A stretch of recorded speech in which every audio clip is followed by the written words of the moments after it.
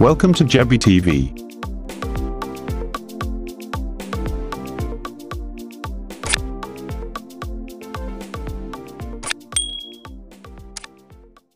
State lawmaker Desmond Elliott calls for ban on social media.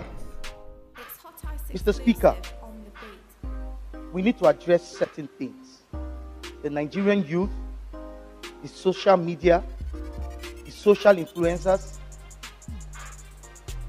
all of these are making the narrative that we are seeing today, except we are joking with ourselves. What's up, guys? Welcome to Malik's YouTube channel, your number one source for trending news, celebrity gossip, and entertainment gist. If you're joining us for the first time, don't forget to subscribe to this channel for more awesome videos. Lagos lawmaker Desmond Elliott calls for ban of social media. He called for regulation and control of free speech and social media. Speaking on the recent events happening in Nigeria and Lagos, Desmond Elliott said social media has had a negative influence in Nigeria as social media is leading to the decay of the society. Mr. Speaker, we need to address certain things. The Nigerian youth, the social media, the social influencers, all of these are making the narrative that we are seeing today, except we are joking with ourselves.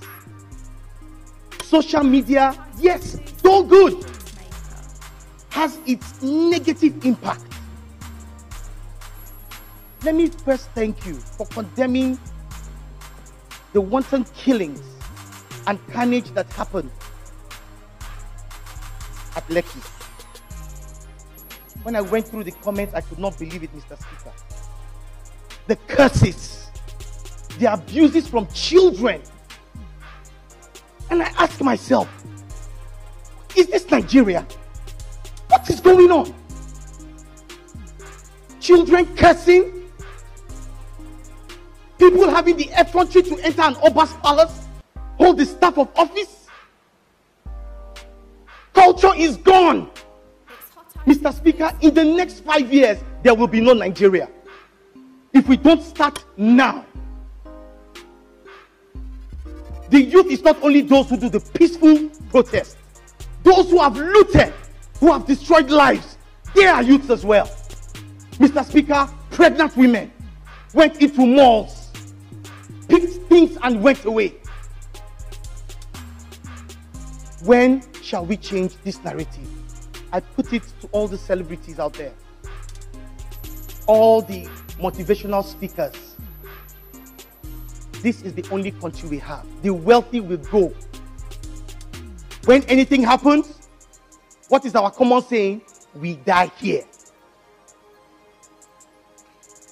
Please, celebrities, please, social media influencers, stop the hatred already. You have a means constitutionally to change government. It's called your PVC. Go to the elections. If you are tired, come and enter government. People are dying.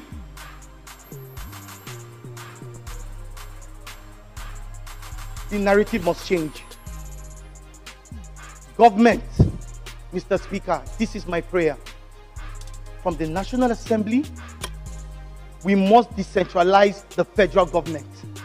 Regions must start to operate.